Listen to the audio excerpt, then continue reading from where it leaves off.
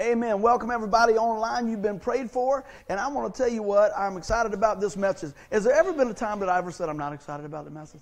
I'm always excited about sharing what God's doing. And I'm going to tell you what, today is, is going to be just the same. We are going to keep on rolling with that. So we got some digging to do today. Everybody ready to do some digging? Say amen. amen. All right, I'm ready. You guys are ready to roll. How many people like a treasure hunt? Yeah, I mean, that's kind of cool. You know, when you were little, you had the maps and you were looking out there digging up your mama's flowers and things like that, trying to find something.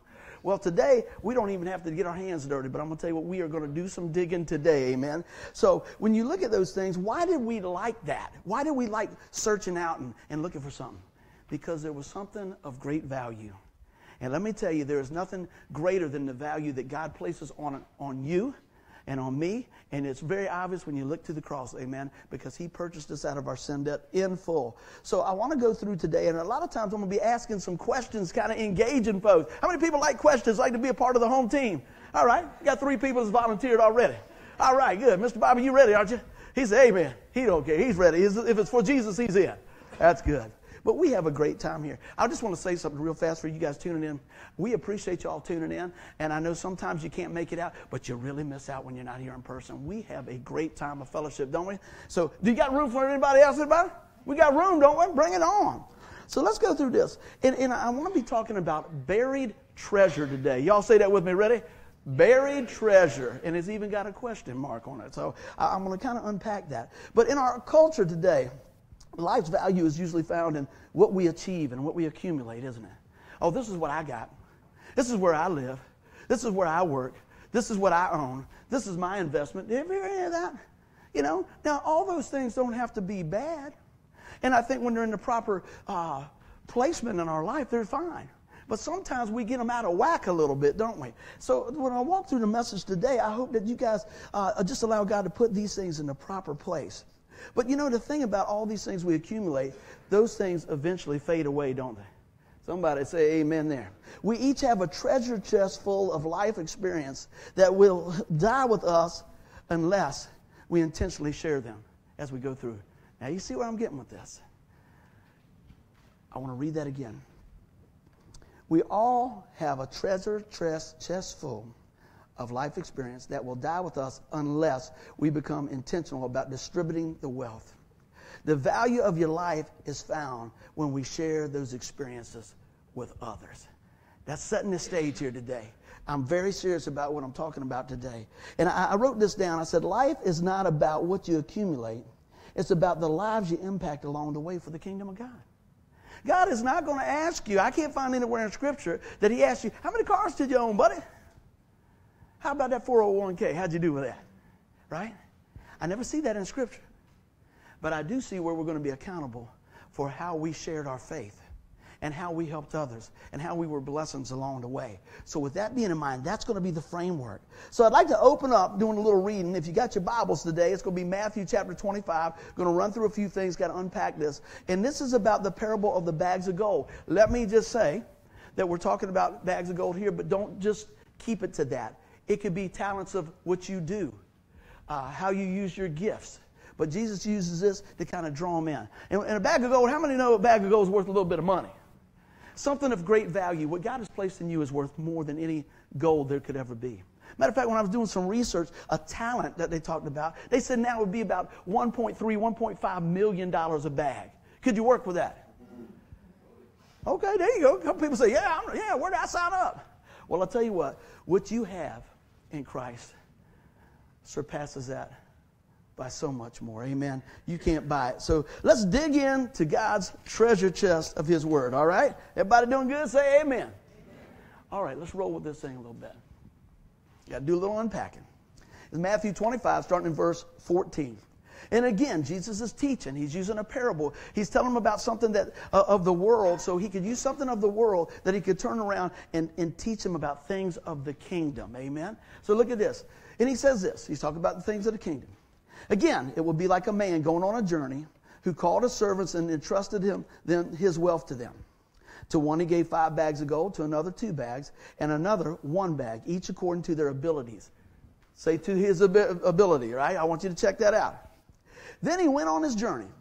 The man who received five bags of gold went at once and put his money to work and gained five more bags. So also the one with two bags of gold gained two more. But the man who received one bag went off, dug a hole in the ground, and hid his master's money. Now look at this. Let's kind of pull this together. We're talking about a master that went away, right? Did Jesus leave this earth and go and prepare a place for us? You see how we're inserting some of these things in the story? Absolutely. Did Jesus entrust us as his servants with something of great value? Amen, he did. Can you insert yourself in this story? That's what I hope you see there. We are entrusted with the best news ever. Something that pays eternal dividends. The gospel of Jesus Christ, the death, burial, and resurrection of the Lord Jesus Christ. He rose on the third day. He's sitting on the right hand side of God. And guess what? He's interceding for you and I. And when we come to him in faith and ask him to forgive our sins, which all have sinned and fall short of glory of God, he says, I will receive you. Now, I'm going to tell you what, there is nothing better than being forgiven, is it? Anybody need some forgiveness from time to time? Here's one. Anybody need to give some forgiveness from time to time? All right. This message is for us. Amen. Well, let's keep on going. And it says, After a long time, the master of those servants returned and settled accounts with them. The man who received five bags of gold brought the five other five. Master, he said, you entrusted me with five bags of gold. See, I have gained five more. His master replied, Well done, my good and faithful servant. You have been faithful with a few things. I will put you in charge of many things. Come and share your master's and your master's happiness. The man with two bags. Tim, you can follow along with me if you would, but I'm going to keep on rolling. So the man with two bags of gold also came. He said, You entrusted me with two bags of gold. See, I have gained two more. All right? Number 23. Here we roll. His master replied, Well done, my good and faithful servant. You have been faithful with a few things. I will put you in charge of many. Come and share your master's happiness. I want to talk for just a minute. I talk to people all the time, and I used to have this mentality. If I just had a little more, I could really make it work. How about that? I'll just tell you one time. I, I got into the stock market a while back, and I thought I had it all figured out. I mean, all you do is just look at this thing going up and that going down and all that. And I put a little money in there and lost a little money, and then I put a little bit more money in there. And, but the good news was I had a stopping point. Right? I said, if, if I can't do nothing with this amount of money, I'm not going to do it. And so it took me a whole year to lose my little bit of money, but I lost it, right? And I said this to my buddy that me and him were both getting into this. I said, you know what? If we had more money, and before I could finish my sentence, you know what I was going to say? We'd have done all right. He said, Yeah, kid, we would have lost more money. I think he was right because I didn't have all the pieces of the puzzle. I didn't understand that. Now, let me tell you what I know about the stock market right now. I don't deal with it. How about that? so, you know, that's all right if you do that, but I'm using those, those object lessons and real things that I've went through as going, hey, you know, maybe that's not my thing. So let's go on back here. Verse 24. Then the man who received one bag of gold Master, he said, I knew that you are a hard man, harvesting where you have not sown and gathered where you have not scattered seed. So I was afraid and I went and hid your gold in the ground. See, here is what belongs to you. Look how he responds. His master replied, You wicked, lazy servant. So you knew that I harvest where I have not sown and gather where I have not scattered seed. Well, then, you should have put my money on deposit with the bankers so that when I return, I would have received it back with interest. 28. So take the bag of gold from him and give it to the one who has 10 bags. For whoever has will be given more, and they will have an abundance. Whoever does not have, even what they have will be taken from them and thrown and throw the worthless servant outside into the darkness where there will be weeping and gnashing of teeth. And I'm going to take a drink of water on down. Everybody say amen started off good. All of them had the same opportunity, even though they didn't have the same amount of, of talents given. God didn't expect the guy with one to do like the guy with, with five and, and all that. He says, I, I, according to what you can do. I'm going to walk through this a little bit. So it sounds like the master took what he entrusted his servants with pretty seriously, didn't he? How many know that Jesus paid that price in full, and He's entrusting us with the word of eternal life, and He takes it pretty serious. Amen?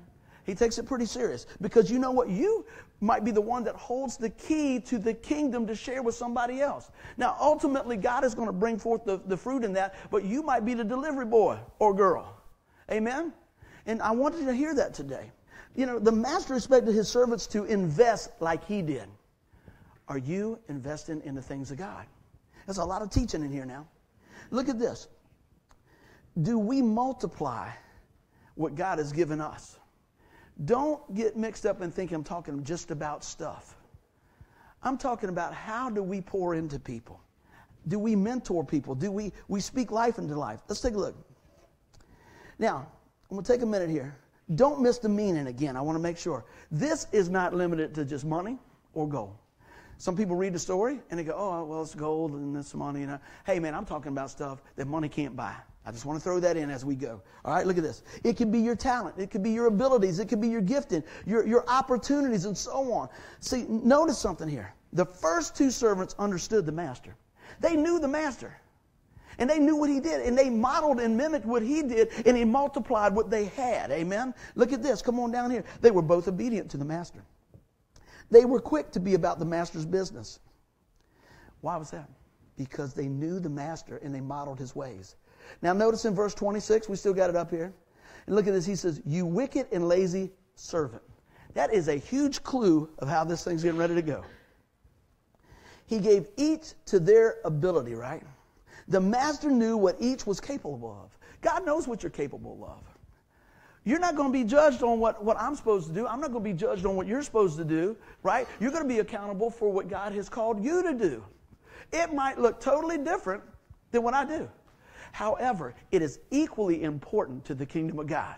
I want you to see that today. This is a good place to say amen. Anybody want to say amen? Just get it out of there. Amen. That's what I'm talking about. We got to get ready for this revival, man. Come on. We got to do it. So look at this. We come on down here, and he gave each of them to their ability. But out of all the words he could use, he chose those two wicked and lazy. I just thought about this last night. He didn't say, You dummy. He didn't say was stupid. He didn't say any of those things. Let's read it again. He says, wicked and lazy. I was talking to Tim and Tanya about this yesterday, and they brought up a great point. It was never about the servant's ability, it was always about the servant's heart condition. You see what I'm talking about here? It's about your heart condition. You can spend your whole life go, well, I just can't do that. Well, God couldn't use me. All that. And I understand sometimes we're trying to figure out exactly what God wants us to do. But I can tell you some things that we can do while we're, we're waiting for that epiphany from God to show us exactly how He wants to do it. Guess what? Keep praying. Follow in the footsteps of Jesus. Multiply the word of God in your family and people that will, will be willing to receive that. Amen. And so, with that being said, I want us to take a really good look at this. That right there preached by itself. So, it's about knowing the master. Amen. And I put that in the wrong spot. So, I want to talk a little bit about knowing the master. I'm going to read something here for you. 2 Timothy 2 2. You have heard me teach these things that, that have been confirmed by many reliable witnesses. Now teach these truths to other trustworthy people who will be able to pass them on to others. I want you to hear that now. When, when we're called to be doing these things, you're, you're not, everybody's not going to respond to you just like you want, okay? But he goes back and tells him, this is Paul teaching right here, and he's talking to Timothy, who's been following a lot of their life. He says, now look, now teach these truths to other trustworthy people. Let me ask you something. Are you found to be trustworthy with the Word of God? That's the only question you can, can answer. I didn't say that you got to be a Bible student. I didn't say that you have to know everything in there and speak Greek and Hebrew and all that. Can you be trusted with the testimony of the Lord Jesus Christ? That does not mean your, your life is perfect. Want to get into that. But are we willing to share what God's done in our life? You know what? Many, many times, this is what God has shown me. It was never about me knowing it all and learning this and all that. He wants me to grow in my relationship. But let me tell you what God has shown me. If you will just share what I've done in your life, I'll shine through you. We make it hard, guys. We make it hard. Just shine and share what God has done in your life. So look at this. If we want to know the master run, we got, we got to continue to seek him. How often are we seeking the Lord? How often do we look into the things of God? Or do we just let it fall where it lays. Look what it says right here in Matthew 6:33. But seek ye first the kingdom and his righteousness, and all these things will be given to you as well. Do you believe many folks are actually seeking the Lord first? Let's just look, let's take a minute. Anybody click through the TV lately? Watch the news, read the paper? Does anybody read the paper anymore? All right. I got about five people plus my mom that gets the newspaper. Everybody else watches online and everything else, and I think that's great. But think about that. So my first question is, do you really see that people are actually seeking Christ first as a whole? Not so much, right? Not so much. Are they seeking his righteousness? Not so much, right? So do we really know the master? Do we really know the master? Let's keep on going. We have become a, a me first society. Me, I say it all the time. What is that? Me, me, me, me. You know, we start looking at, hey, how's this going to, what's in it for me? And, and, and this is what happens over time. We start focusing on ourself and we let all the other stuff go by. Did Jesus focus on himself when he was here? He was always focusing on the needs of others. A matter of fact, the reason why he came was because there was a need of others for him to come. Amen. He came to save us. Seek and save that which was lost. By the way, I was lost. How about you? Might as well say yeah because the Bible says that you were. Okay? but I knew that. But I didn't know what to do with it. But I tell you what, when somebody told me about Jesus, and let me tell you this too. I don't know how many times people told me about Jesus. But the good news was they kept telling me about Jesus till they got through this noggin. And really, it wasn't so much my noggin as much as my heart. And let me tell you, Mr. Rock and Roll, Mr. Karate Guy, Mr. Tough Guy cried like a baby when I got that message. And every time I talk about it, because I saw myself for the first time, really, and I, wasn't out of whack in this uh, thing thinking I had it all figured out by no means, but I really got to see who Buddy Chapman was, and I didn't like that guy. There's a lot of things I still, I'm still working on, but I'm going to tell you this. When the light of the gospel message hit my life, I go, oh my gosh, I need Jesus. How about you guys? See, when the light of that message comes into you, the darkness of your life, it exposes everything. Everything. You see all the nooks and crannies and everything else. See, when things are, are kind of dim and the shades are pulled down and you, and you go across your coffee table and you take the pledge on there and he goes, man, that looks pretty good. And then the next morning, you open that blind up and the light comes in and you go, what in the world? Look at all those spots I missed. See, when the light of the gospel comes in and the truth of God's word comes in, that's the standard. And we go, what in the world? what is going on in my life? Right? But there's good news with that. The good news is that Jesus doesn't just leave us here.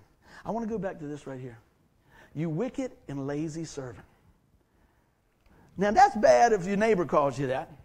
It's terrible if one of your kids or your family can. But when the Lord Jesus Christ would speak that into your life, oh, I don't want to sign up for that. And that's the reason I want to share the message with you today because there's no reason for us to feel like that. I want to go back through a few things. The first two guys, right, the servants, they were familiar with him. They followed the model of their master. The third guy was basically lazy. I'm good. Yeah. And he, and he copped out under the fear thing. And the Bible talks about the fear of the Lord and everything. And, and usually, when it's talking about, usually, it's a reverence. I say this a lot of times growing up. I was around drugs and alcohol pretty much all my life. And when I got into the rock and roll business, they would just pour that stuff through. I knew that if I ever dealt with that stuff, it would kill my mom and dad. I knew the master. I knew my parents. I was like, I, could, I can't do that to them. Now, there's a lot of other stupid stuff I did, okay? But I go back to that because I thought, what kept me from doing that? And it was the love of my mom and dad. Let me tell you what, your love for Christ will keep you plugged in. You got to keep the Bible open. You got to keep feeding that. And you know what? There's no reason for any of us sitting here today to hear that. You wicked and lazy servant. Because today I want to go and talk about the treasure that is in you. Amen. So if Tim will put, roll that back, I got a little something that I want to share with you, but it's going to take a little minute. I, I know I got something back here. Y'all, excuse me, I, I should have been prepared better than this, but let me see if it's back here. I know I got it somewhere. It's not there. It's I had I've been saving some stuff. I put it back there. Michael, can you give me a hand with this? I don't. He's my go-to guy. Here we go. Man, this is heavy. I didn't realize I put all this junk in here. Can you, can you get the door? Appreciate that. Here we go. Man, that thing's heavy. Here we go. I just want to share a little bit about. Y'all got one of these? Whew. Mike, you might have to steady me here. Let's see if we could we could slide that down just a just a little bit. All right, thanks. Thank you. Let's slide this down here just a little bit. All right. Anybody got anything like this? You know, it's just been in the garage. It's been buried somewhere and stuff like that. Had a few miles on it and everything else. I'm the only one. How many, how many guys got garages? That might be your treasure chest. Yeah. Some guys got two and go, hey man, you park your car in there? What are you kidding? I'm thinking it's pretty good if I get through my garage like this. I think it's a win, man. Well, anyway, I want to share a few things today. And I hope you guys enjoy this because I'm going to tell you it's going to be a whole lot deeper than what you think. See, what's happening is this as we start unpacking these things, we need to invest in the next generation. I got buddies go to church, pastors, everything. I talk to a lot of people. Can you imagine that? And one of my buddies that, that, I, uh, that, that I just love, good, good Christian brother in the Lord, they've been really trying to work through some stuff in his church, right? And at one time, his church was a thriving church. We've been there. I preached there. I spoke there. It's, it's great people, love people, everything. It's, it's good. But you know what? It's been dwindling and dwindling and dwindling. And they went from about 700 to 300, and then they went from 300 to about 150. And now they're short $30,000 a month on the budget. There's, a, there's an issue, right? The treasure chest. How does that play into that? We're responsible for continuing to feed the work of the Lord. We're responsible for us to, to, to speak into the next generation. All right? I'm gonna, let me pick this. If you are above 40, raise your hand, please. I just see where I cut it off at. If you're above 40, you have been through some amazing things in your life that God can use to speak into the next generation to help them along the way. And I want to share with, for everybody that's here today and thinking, man, that just, I, I don't have anything to, to, to share. Let me tell you, by the time we're done with this treasure chest, you're going to say, I got to get involved. Amen. And so we look at this.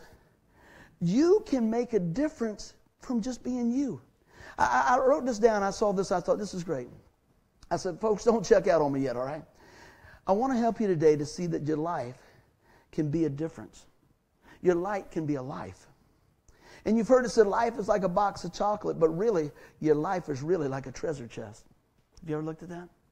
You are literally a unique blend of experiences family experiences, work, business, church, successful things, failures, opportunities, missed opportunities, learning things, disability, medical miracles, all these things. Me and Jerry was talking about it today. He said, You ever seen a miracle? And I told him this. This was not being boastful, this was being humble. I said, Every time I look in the mirror, I see a miracle. And I said, I'm looking at one now. He said, Yes, you are. See, each one of us are, are a miracle. That God would choose us to carry the, the message of His Son, Jesus Christ. That God would think you and you and you and me were worth giving His best. He gave His treasure. He left the treasures of, of heaven to come and live this life so that you could exchange your life by faith and have His. Amen? I want you to hear that today. But as we look through this, we are eat a unique, unique blend of treasures.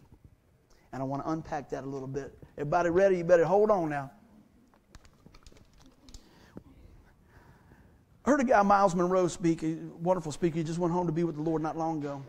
And you guys have heard me mention him. He say this. He says, the richest place on earth is that of the graveyard.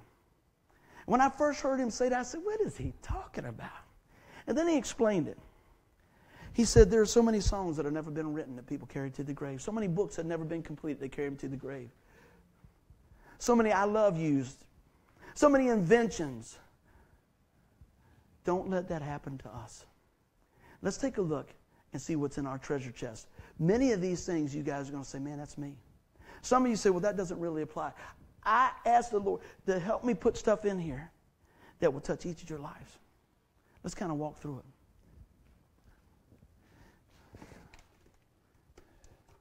You know, in our lives, there's different things.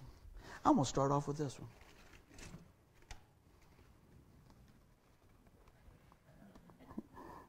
Somebody just said I improved my dating by 50%, didn't I?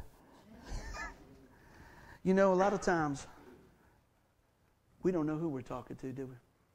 We'll put that mask on and hide behind things. Got your church face on? Got your business face on? Got your dad hat on? Whatever the case.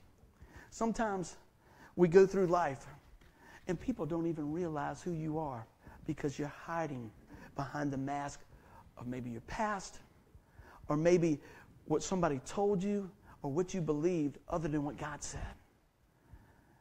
Don't let that slow you down. Amen. Let's take a look at a few more things. I got a bunch of them. Maybe, just maybe, you found the queen of your dreams and you've been married a long time. I just broke that with my fat head. And you know that actually serves a purpose because midway through that, everything went crazy. And you said, you know, how can I speak to somebody about marriage when I'm on my second one or my third one? That very thing might be the thing that equips you and qualifies you to speak into somebody's life. You hear what I'm saying? How many people learn more from their failures than other things? Amen. We really do. What about this? Maybe you're gifted in leadership and people seem to follow what you say. You're accountable for how you lead those folks. So maybe you don't even realize it. Maybe say, oh, yeah, yeah, well, you know, no. Have you, have you really thought about that God has equipped you to reach people? There's accountability with that. Let's keep on rolling. How about this? You're still holding that little trophy right there. You're still mad about it because you didn't get as big as one as Bobby Joe or Sally Sue. And you've allowed that right there to shackle you to the things that God had called you to do. Maybe a little rust on it and everything else. But, you, but you're throwing that back over here. How about you've had the privilege to serve your country? And when you come back, they didn't appreciate you. How about that? Yesterday, we were out on the town, and there was a man in a wheelchair, and his wife was pushing him. And I said, How y'all doing today? She said, Do you know that you are speaking to a World War II vet? I said, Sir, thank you for your service. I appreciate what you've done. She said, He's 95 years old. I said, Buddy, you're looking good. You don't mind if I follow you around, see how, you, how you're eating and living so I can get up to 95? And he smiled. And I said, How are you doing, ma'am? She said, I'm good. I'm 92. 92 years old. She's shoving him, boy. I had to catch up to, hey, I want to talk some more. Granny was gone, boy. And I got to talk to him a little bit about the Lord. Come to find out, the daughter lives in town. Isn't that amazing? Just took a few minutes. How often do we thank the folks that have gone before us for the peace, for the wisdom, for the opportunities? Think about that. You say, yeah, yeah, that was a long time ago. Let me tell you what. When I talk to folks, I, I seem to gravitate to older folks a lot of times because I can learn a lot from them. But I want to encourage us to not only look forward, but also look the next generation behind you. How could God use your life to mentor them, not to multiply yourself, but to pull the gold out of their life so they could be all that God called them to be? Don't let these things that you tucked away in your treasure chest work against you. Let them work for you. Got a few more things. How about that? How about this? How about the old baseball scholarship? Woo! Look at that. Everybody good, ain't it? Are you paying attention over there? Good. All right. What about that? The basketball. That's Miss Tanya. Woo! Yeah, there you go. Because when I heard about all those things, Tim used to watch her go there and say, man, she was the captain. She was this and this. She'd get out there, all that. I don't know. But you know what? You can use those things that you learn leading your team. You can, you can remember when maybe you got passed over. Maybe you can remember when you struck out. And maybe you can remember when you hit the home run. All those activities and all those life things right there can be used to help the next generation. Not just your children, and that's great. But I'm talking about bringing up a generation behind us that will serve the Lord. I want y'all to look side by side. Just look at this side, look over here. Y'all look over here. Look back over here, look over here. Those folks that got more hair than you and less wrinkles than you, okay? They're the future. That was not in my notes. I probably should have left that out. but it's the truth. It's the truth. Look over here. Look, that, that's your generation. That's my generation right there. That the next generation to run with this thing. So guess what? I want to invest in them. I want to encourage them. I want to grow them in the Lord. What else do we got?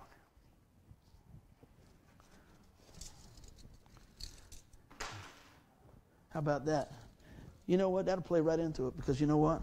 Many of us are shackled to our past and never even realize we got the key with Jesus.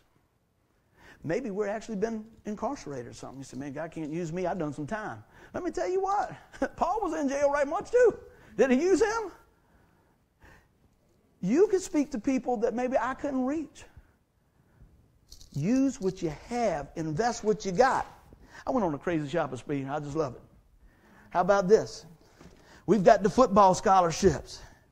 Oh, what about this? Everybody looking close at you. How about the big money? Oh, yeah. Got your attention now. Maybe you made a lot of money. Woohoo! You can tell people how to do that or use it for the kingdom of God. Or maybe you lost a lot of money. And you can tell them, watch out for that stock market. Either way, you can be usable. You can be a difference maker. You can invest what you have. You can invest what you went through. Let's pick it up. Hey, a lot of times we just save up for a rainy day, man. And then what happens? You know? And then it's gone. My mom and dad saved all their life. They would do without so me and Donna could have it. Never wanted for anything. And I'll tell my dad, hey, look, man, get what you want. Nah, I'm good. I don't need that. I said, well, why are you saving that money? And it's not like it's a fistful of money. He's a working man. He said, so maybe you have a little bit better. Woo! But see, what my dad and mom gave me is far more than any money they could ever leave me. Far more. Trust the Lord. Love your family. You don't have to be right all the time. Say you're sorry. Forgive people. Treat people like you want to be treated. Make your word be your bond. Don't tear your name down. It goes on and on. Think about that. But you know what? Sometimes we got a few of these in our closet, don't we? Got a few skeletons, don't we? Woo! I can't ever run for office now. It don't matter. Because if you did, if, if not, they make something up anyway. you know? It's true, isn't it? Those skeletons well, you just don't know. It's something. I like this right here. When I tell Denise about my past, she said, Good thing I met you later because my mother would never let me date you early on. God has a sense of humor and God has perfect timing, right? What else we got? I'm getting down to it. What about this? That medal that you sacrificed for, that put your family on hold for, money that you spent and the time that you didn't spend with the Lord, you did that because you got this nice, shiny little thing right here. And you know what? Most of the time when you go through somebody's stuff as they leave here and they go, What did dad get that for? Oh, yeah. Okay, hopscotch, great. You know, the things that we put so much emphasis on are just going to rust and they're just going to be beat up just like this box here. How about this? You ever seen one of those, Miss Georgia? It sits on my desk. I see it every day. not only what it means about Jesus Christ as my Savior and what He did for me. I saw Bonnie the other day in this store, your daughter. And it was so amazing that I saw Bonnie at this time. She said, Buddy, what are you doing here? I said, I'm looking for stuff for my treasure box. She said, What? I said, Some sermon illustrations. And she said, and I told her, I said, You know, partly about this message makes me think of your dad. I used to love sneak away and get over Mr. Charlie's house and Miss George's house. And on one of my visits, Mr. Charlie was sitting in his chair and he was whittling. And he told me this, and I've shared it before. He had no idea of what I've been studying on leadership and, and, and, building up folks and things like that. And he told me, he said, You know what, son? I said, What's that, Mr. Charlie? Because I said, Tell me some things that, that you've learned along the way that'll help me make it better. You know what he told me? He said, Everybody needs a mentor, son. And he's whittling. And that spoke to my heart. Boom! He says, You need somebody that's been down that path to show you maybe where some of the potholes are. I am grateful for that conversation. I'm grateful. He would share things like that. Miss Georgia, same thing.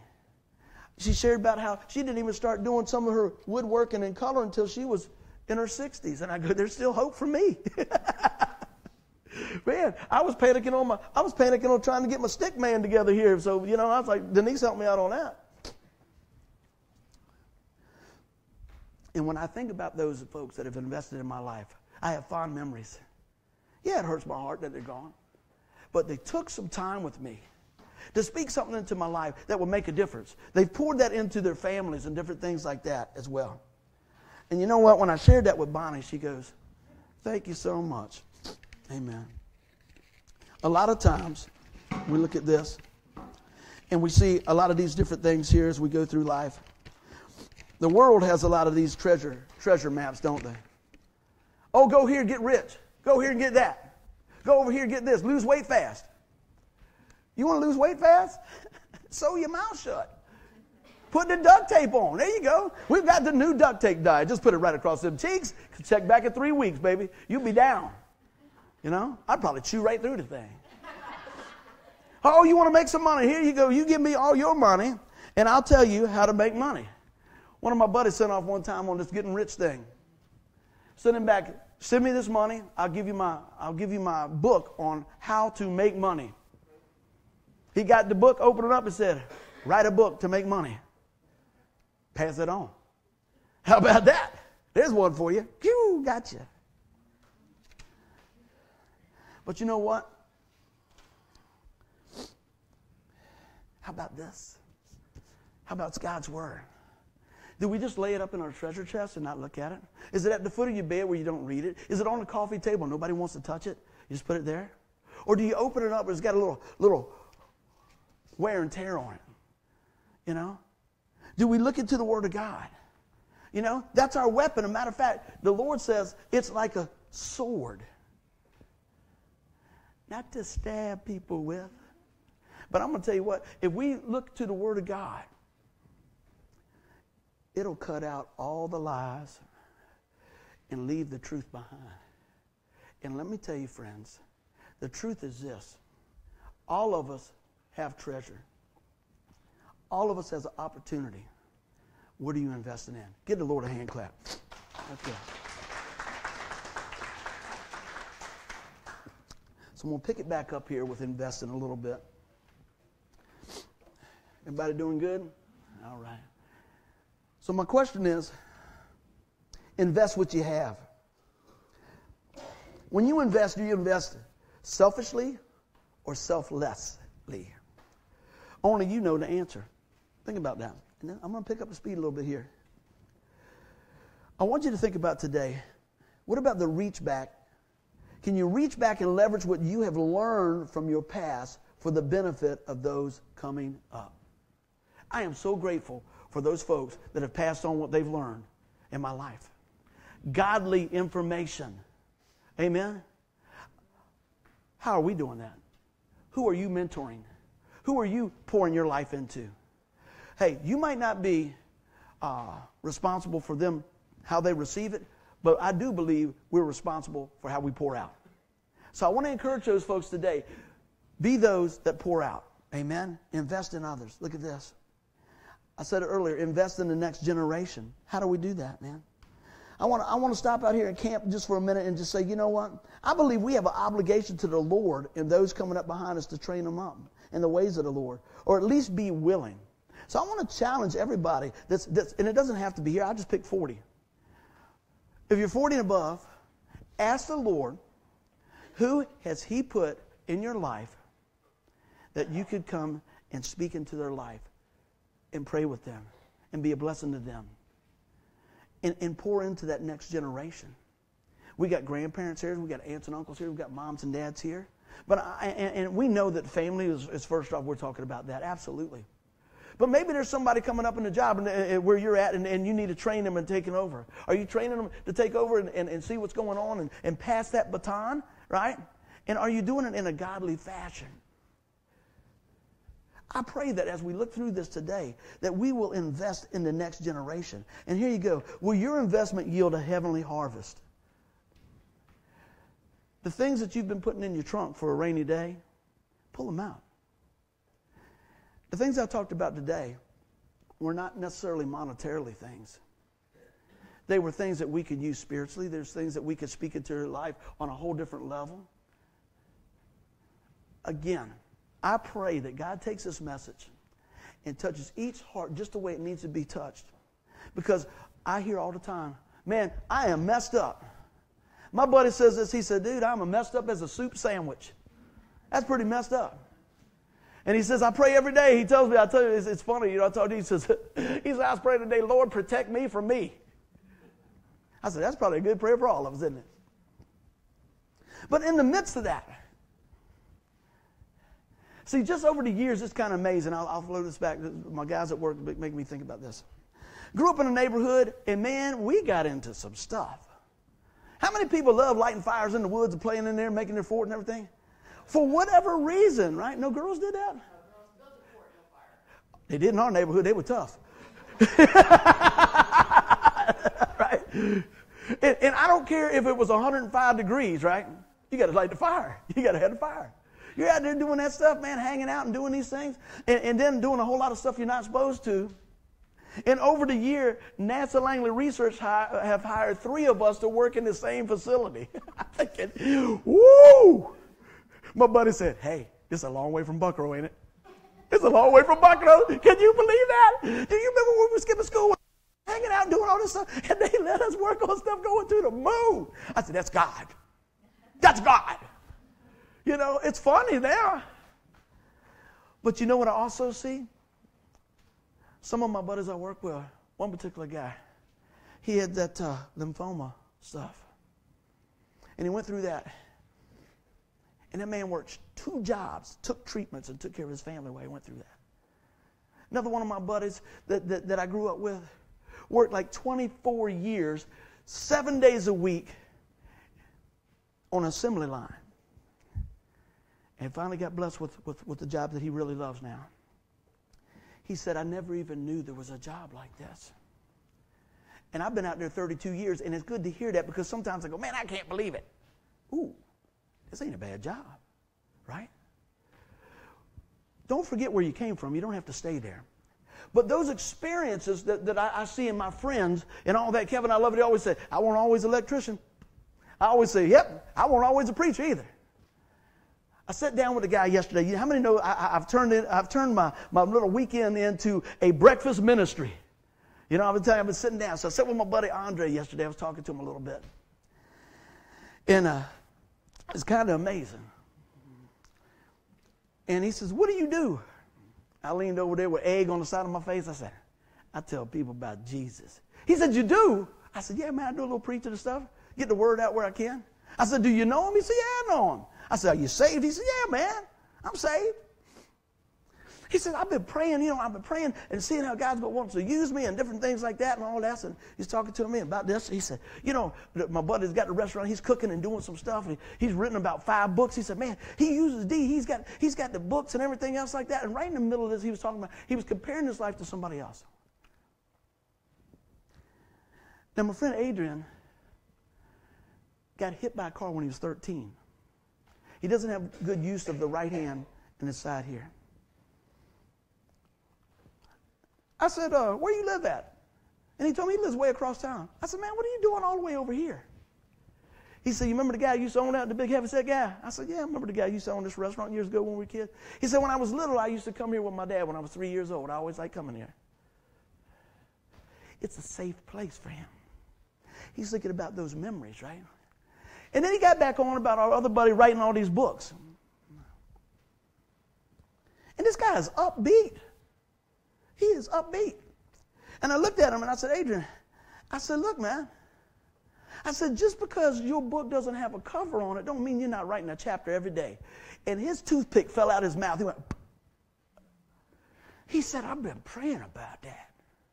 I said, dude, let me tell you, you're going to touch people's life that I will never touch. You've come through, the, the, the, through this life, man. You've been through some of the struggles with, with, with, you know, accident and different things like this. All these, you know, God's going to use you like he, like man, like He can't use him or her or me.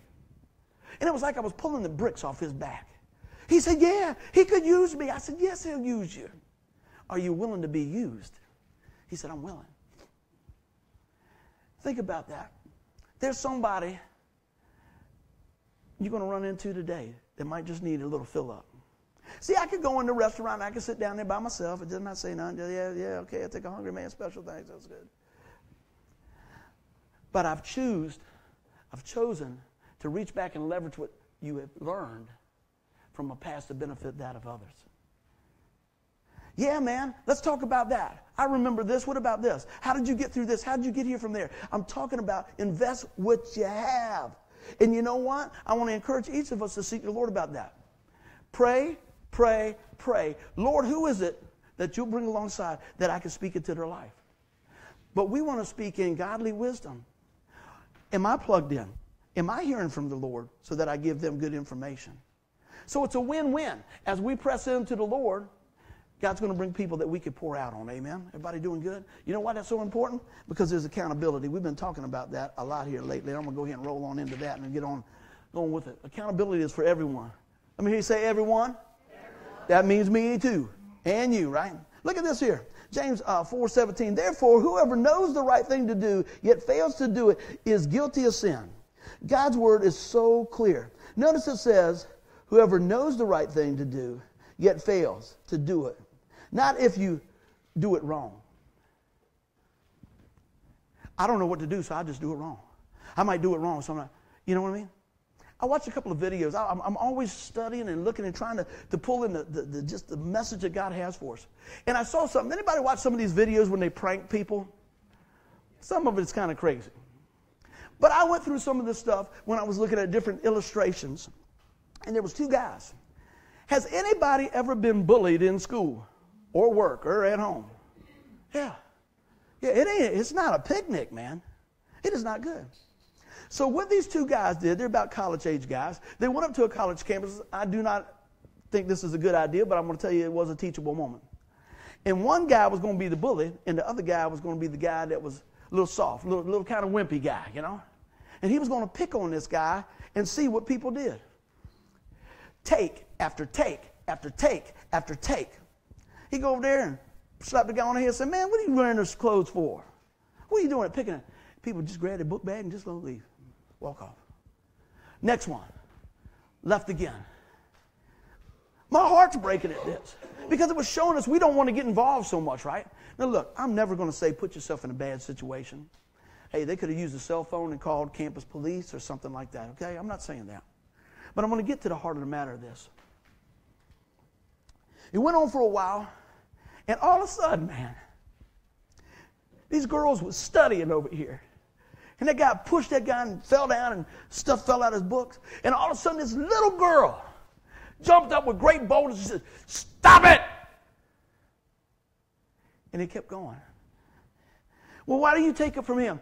She says, Because it's not right. What does the scripture say? It says, Therefore, whoever knows the right thing to do, yet fails to do it, is guilty of sin. She just knew this ain't right. These guys were towering over her. She jumped in front. She said, You stop it now. And she helped that guy pick his stuff up and everything else. And they said, Ma'am, I want you to look at something. I want you to look over. You see that camera right there? And she was still hot. Yeah, I see it. She said, We wanted to know why, why did you jump in? Because she had dealt with that in her past. See how she could use that for the good? She said, but it's not right, and I'm not going to stand by when I see something's not right and I know that we can make it right. Man, help us to be the people that don't have to be critically, you know, politically correct. You know? Well, I don't know about that. No. We have edged God out of so many things, and we're going to still be accountable for that. But look at this. I said, we may not have to jump into a fight, but there's things we can do. We can pray for folks. In that particular situation, I don't know how everybody's going to react. A lot of times I think, well, if they did that, I'd do this. I don't know. But I pray for all of us that one, that we would seek the Lord in wisdom of God and be able to step in and step up on, on all different levels. That was just a really in my face type thing that I shared with you. Maybe it's like, well, we're going to pray over our food at the restaurant. I don't care who's there. I've told you all this before we go out to eat and everything. And the guys that said the guys that eat with me all the time, they already know what's going to happen. You know? They getting everything like this and moving around and all that. You get a new guy, he just throwing stuff in there, and my buddy be moving the ketchup bottle, all this. He adjusting his drink, take a couple drinks because he's like, well, I know he's going to get ready to pray, right?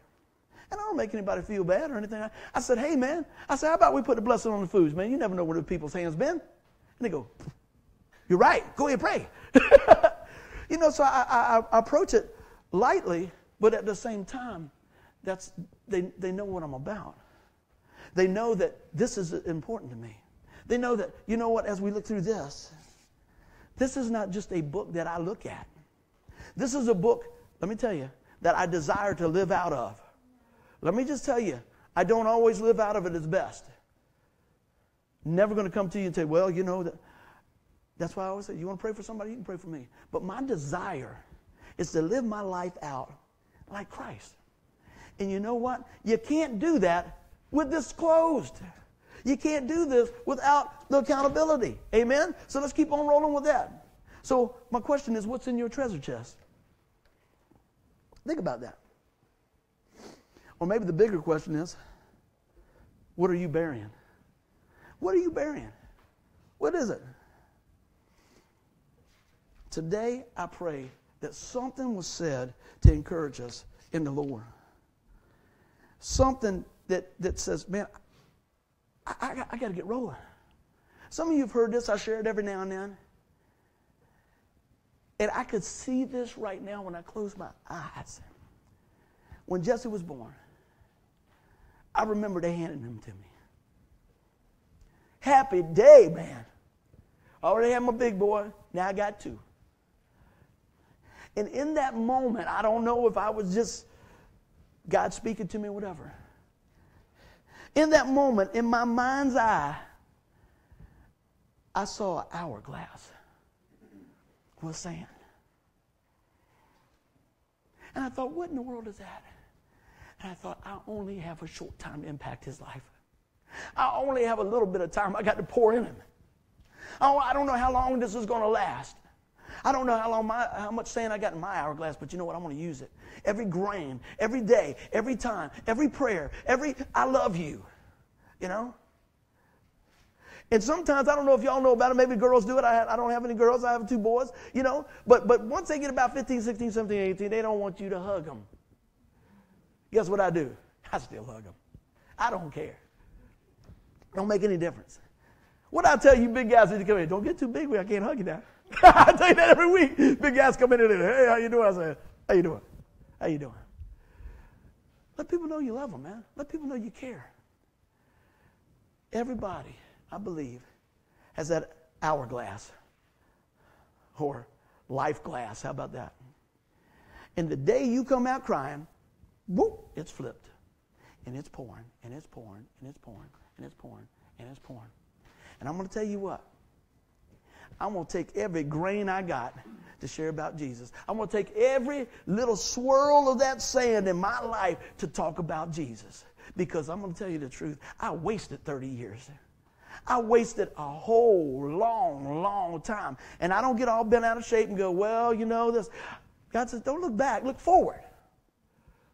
I've given you the tools. I've given you this now. I've given you my word. Hey, look, man, I'm gonna tell you what. I like if, on mine, myself, I just like a boom, there it is. Run out in the yard and get it if you want it, but that ain't nothing compared to what I could give you. I can give you my love. I can give you my understanding. I can pray for you. I can encourage you. I can lift you up when you fall down. I can put some band-aids on some stuff. Something I learned first little thing being a dad. Thomas fell off his bike, busted his chin open, and he was fine. Then mom looked at it. She was not fine. And I said, It's all right. And I said these words. He probably needs some stitches. And he went, Ah! Yeah, that's why he grows a beard now. I told you he didn't need a train and wheels. I was wrong. Dad said, You don't need that stuff. Get out of there. Get up. You'll be all right. You ain't moving. you know I mean? But you know, all those things, man, we're learning. We're learning. We're learning. Don't keep them to yourself. Don't bury your treasure. Let's end with this, guys. Buried treasure here. 2 Timothy 4, 6, and 7. As for me, my life has already been poured out as an offering to God. The time of my death is near. This is Paul talking. And he's, and he's sharing this with Timothy and for us today.